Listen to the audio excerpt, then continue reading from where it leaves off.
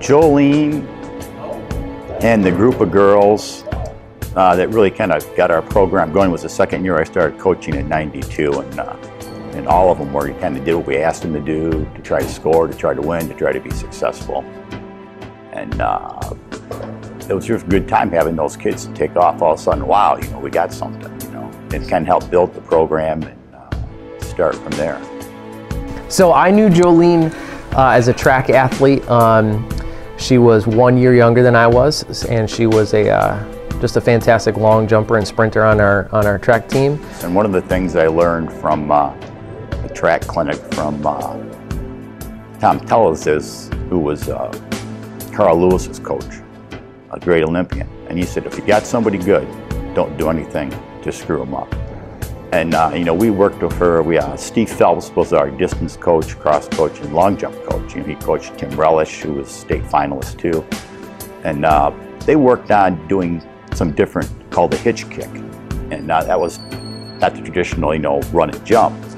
And sometimes when you do something different, it might mess them up. But for, for her, it didn't mess her up, and she never really caught on to it great yet. But she did learn a more elevated takeoff, which did help her particularly her junior, senior year. When after her sophomore year, I was kind of surprised that she uh, did so well at the state meet, being not one of the top people coming in, but she ended up taking third with a 17 foot plus jump.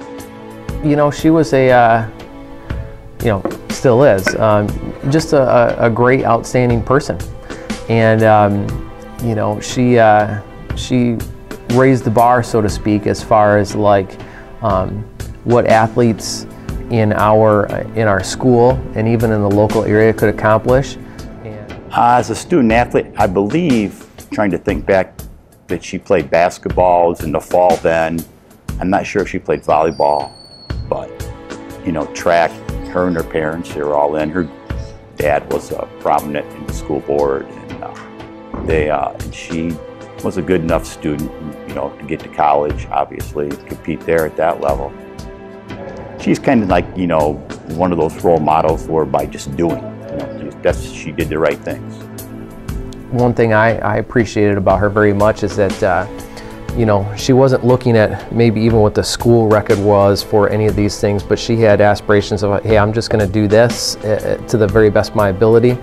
And that just kind of raised the bar for not only, um, you know, what could be expected locally here, but even on a slightly bigger scale. So I think that was just really kind of cool and inspiring in that, you know, she she had aspirations um, bigger than just you know one inch longer on the next jump or, or something like that. It was, you know, um, I'm just going to send it with everything I got, and and that just kind of raised the bar for for people in the whole area. And, and you know, I think what's most impressive about you know her athletic accomplishments is that you know, she was a really obviously a quality long jumper, but it was it wasn't just for you know one or two jumps. She was a, a dominant uh, athlete in the area for for many years, and I think that that's um, really the reason why we want to try to recognize her.